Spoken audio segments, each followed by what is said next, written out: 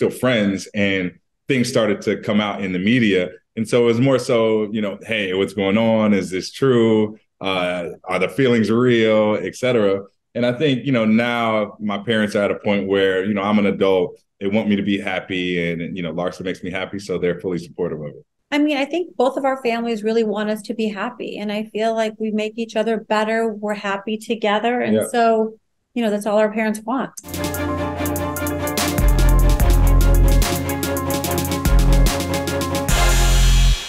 For more news content and exclusive interviews, make sure to hit the sub, like, and bell button down below and visit usmagazine.com.